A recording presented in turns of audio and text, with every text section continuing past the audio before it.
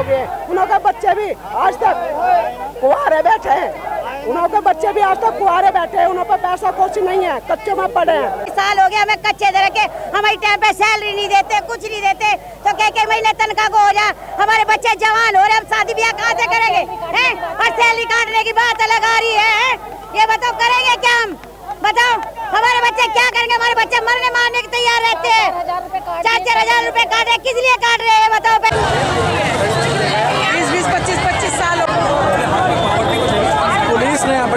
पर अपना मोर्चा संभाल लिया है और वो कोशिश कर रहे हैं किसी तरीके से ट्रैफ़िक खुल जाए। लेकिन यहाँ हज़ारों की तादाद के अंदर महिला हैं और पुरुष अपनी मांग को लेकर धरना प्रदर्शन कर रहे हैं और क्यों करें।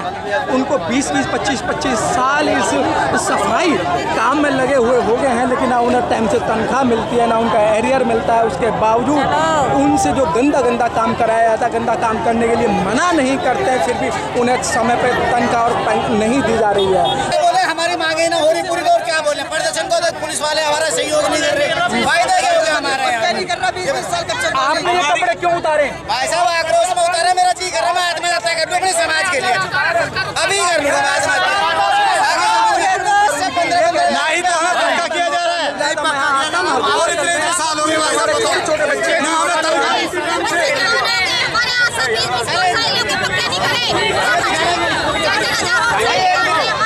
भाई मेरा नाम नीरज सूद है। आप लोग यहाँ क्यों आए हो? भाई साहब पैसे के लिए आए भूख के अच्छा। भूख ने बुलाया। भूख ने बुलाया भैया। हमारे बच्चे नहीं पढ़ते सुबह छह बजे कौन उठ के जाता है? किसकी सफ़ाई करता है कोई नहीं करता। है सबको नौ बजे का ऑफ़िस है। हम छह बजे अपने बच्चों को छोड़ के यहाँ सफ़ाई करने आते हैं। जब आप सफ़ाई में निकलते हो क्या नारा बेटी बचाओ बेटी पढ़ाओ। रहा हमें पैसा ही नहीं मिला बेटी मतलब मोदी जी किराए में रहने कच्ची नौकरी में बढ़ा नहीं सकते तनख्वाह तो घटा क्यों रहे हैं तनख्वाह। बीस बीस साल होगी बच्चों को। कच्चों में। हैं? ना तो कच्चों से ना पक्के हो रहा ना कुछ हो रहा। अब पक्कों का पैसा भी नहीं मिल रहा। हमें औजीदारों में छोड़ रखा हैं? बताओ क्या करा जाए? स्वच्छ अभियान तो एक दिखावा है। मोदी जी का। भाई साहब सुनो मेरी बात। मो- स्वच्छ अभियान तो ये होगी क्या? स्वच्छता अभियान एक दिखावा है मोदी जी का जो पब्लिक को लुभा रहे हैं। स्वच्छता अभियान तो हम चलाते हैं हम नाली मोरी साफ़ करते हैं। इतने इतने गड्ढों में घुसते हैं नालों में घुसते हैं। और 20-20 साल हो गए हमारे कर्मचारियों को कुछ भी लाभांश नहीं मिल रहा। ये ढोंग मचा रखा है इन्होंने बिल्कुल षड्यंत्र है इनका। अब आपके उन्नीस दो हज़ार उन्नीस में हम इन्हें दिखा देंगे अपनी एकता का परिचय। ये जब तक हमारी आपके हम मोदी को और केजरीवाल को हम बताना चाहते हैं इस माध्यम आपके चैनल के माध्यम से कि इसको अपनी एकता का परिचय दे देंगे हम सारे कर्मचारी जितने भी कर्मचारी भाई हैं। हमें काम नहीं करना है हमें एक तो चाहे एक महीना हो जाए हम पीछे नहीं हटेंगे। चाहे हमारी एबसेंट हो, नागा हो, चाहे हम मरे या अफसरों को मारे। मैं रिटायरमेंट हूँ। सबसे पहले साले कमिश्नर को मैं मारूँगा। मजदूर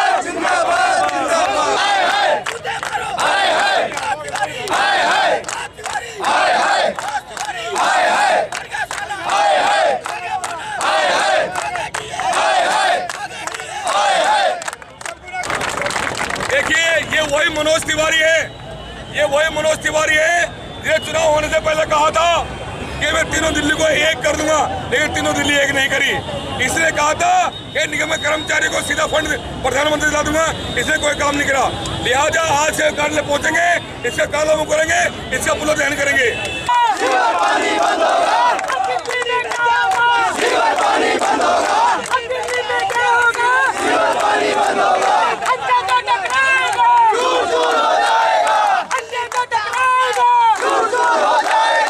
मनोज तिवारी के कार्यालय में जाने के लिए पुलिस ने अपने वेरीगेटर लगा दिए हैं और देखते हैं कि वेरीगेटर को किस तरीके से लोग पार करते हैं। सफ़ाई कर्मचारी लोग चुके, आ चुके हैं। पुलिस के धक्का मुक्की हो चुके हैं वेरीगेटर को। आप देख रहे हैं कि पुलिस भी तैनात है, लेकिन इस तरीके से आप देखते हैं, कुछ भी हो सकता है। और यहाँ ये बैरिकेटर को गिरा दिया गया है, पुलिस बड़े पैमाने पर तैयार है, और ये संजय गहलोत में कुछ जो नेता हैं एम के, उन्होंने इसको तोड़ दिया गया है, और बच्चों को तोड़ दिया गया है। आप देख रहे हैं, पुलिस अपनी हरकतों को बाद नहीं रोक रही है। अभी आप देख रहे हैं कि इस समय यह दूसरा बैरिकेटर भी तोड़ने की आम पब्लिक ने कोशिश किया और सफ़ाई कर्मचारियों ने दूसरा तोड़ दिया है बैरिकेटर और ये देख रहे पुलिस भी अपनी हरकतों से बाज नहीं आ रही है आप देख रहे हैं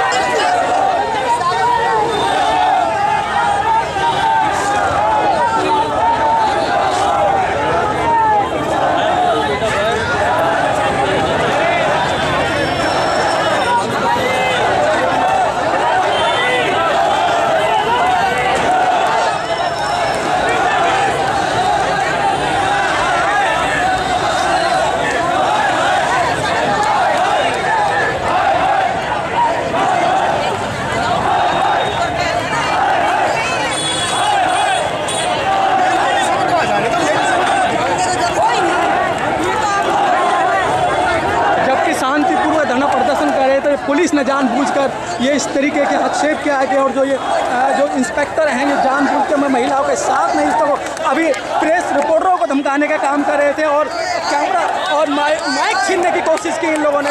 ये है मीरा सिंह जी जो कि यहाँ के इंस्पेक्टर हैं और जानबूझ के कैमरा छीनने की कोशिश की अब मीरा जी ने और ये यहाँ पे देखिए अपने शकल बचा के जा रही हैं और ये देख रहे हैं कि आप इनका कोई वो ना हो।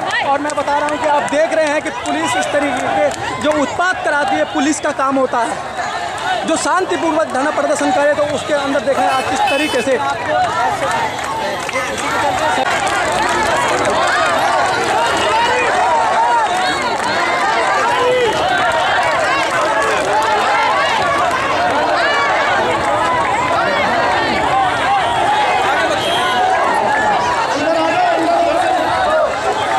आगे नहीं जाना आगे नहीं जाना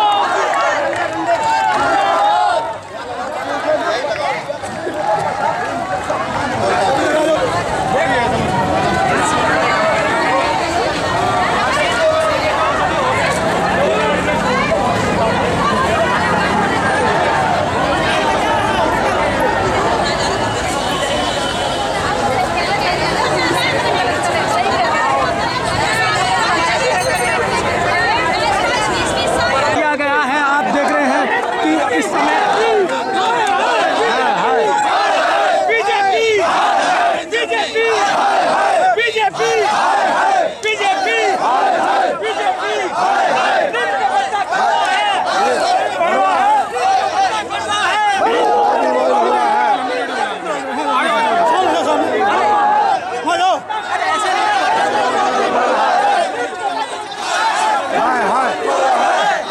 बाइट बाइट यहीं ले लो बाइट बाइट यहीं ले लो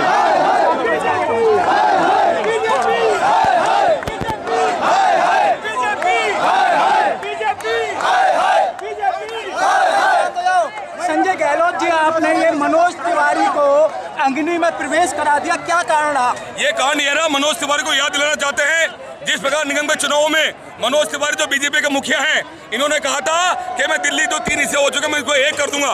मनोज तिवारी ने कहा था कि डायरेक्ट केंद्र से पैसे दिलवा दूँगा निगम कर्मचारी को, लेकिन ये असफल रहे, नाकाम रहे। इन्होंने हमारे घर में खून चूसा है।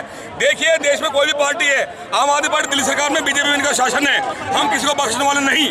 आज इसलिए हमने पूरा ध्यान किया है, ताकि इन्हें पता चल सके इन्होंने क्या क्या वादे किए थे। देखिए हड़ताल का तीसरा दिन है आज।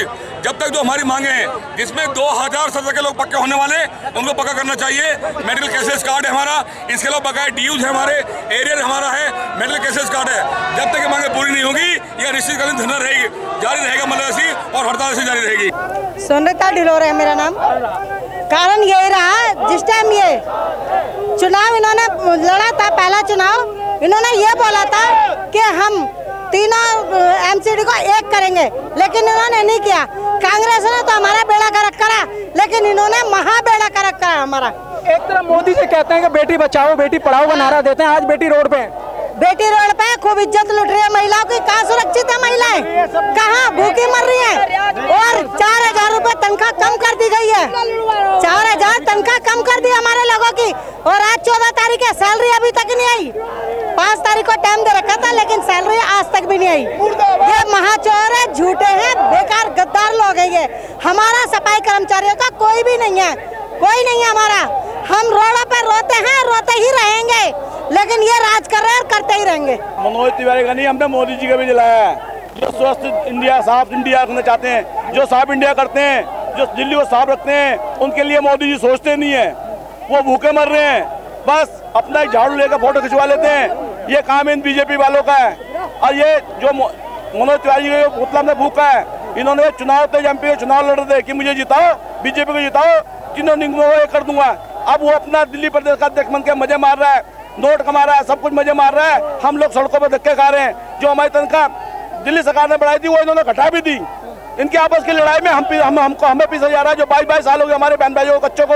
आज तक पक्का नहीं करा। कौन सा कौन सा कानून है? चालीस साल सेवा करके चले जाते हैं हमारे कर्मचारी। कौन सा कानून है? उन्हें एक रुपया दिया जाता। है उन्हें पेंशन भी तीन तीन महीने में होती है। कौन सा कानून है? कौन सा डिपार्टमेंट ऐसा है? जितना इसमें हम दिखाता है।